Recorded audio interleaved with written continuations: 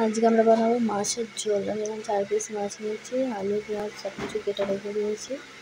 তো প্রথমে মাছগুলো আমি কড়াইতে তেল দিয়ে মাছগুলো আমি ভালো করে ভেজে নেব। মাছগুলো ভেজে মাছগুলো আমি তুলে রেখে দেবো। সেই তেলের মধ্যে আলুগুলোও ভেজে নেব। আলুগুলো ভালো করে ভাজা হয়ে গেলে এগুলো তুলে রেখে দেবো। আলু আর মাছটা তুলে রেখে দিলাম। এবার কড়াইয়ের মধ্যে তেজপাতা, শুকনো লঙ্কা পাঁচফোড়ন আর কাঁচা লঙ্কা ফোড়ন দিয়ে দেবো। ফোড়নটা একটুখানি কিছুক্ষণ ভাজা হয়ে হয়ে গেলে এর মধ্যে পেঁয়াজটা দিয়ে দেবো। একটা ছোটো পেঁয়াজ দিয়েছিলাম, নুন দিয়ে দেবো। সব উপকরণগুলো ভালো করে, পেঁয়াজটা ভালো করে ভেজে নিয়ে এর মধ্যে দিয়ে দেবো হচ্ছে টমেটো টমেটোটাও কিছুক্ষণ ভালো করে ভেজে নিয়ে দিয়ে দিলাম মশলা, যে মশলাটা আমি আগে থেকে বেটে রেখে দিয়েছিলাম তো মশলাটা দিয়ে কিছুক্ষণ কষিয়ে নেব, তারপরে এর মধ্যে দিয়ে দেবো হলুদ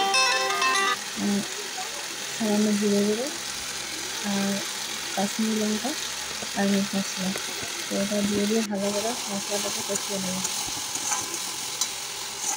ভালো করে মশলাটা কষানো হয়ে গেলে এবার দিয়ে দেবো আলুটা দিয়ে দেবো এর মধ্যে।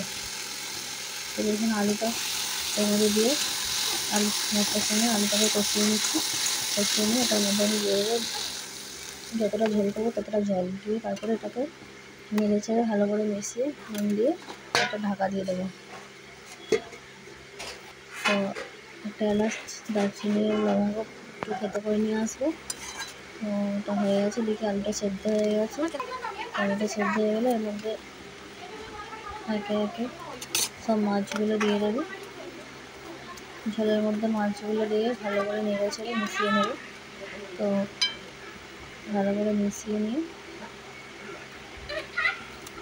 এটা ঢাকা দেবো না। মশলা দিয়ে রান্না করব এবার দিয়ে দিলাম গোটা গরম মশলাটা দিয়ে দিয়ে ভালো করে নেড়ে চেড়ে কিছুক্ষণের জন্য ফুটিয়ে নেব।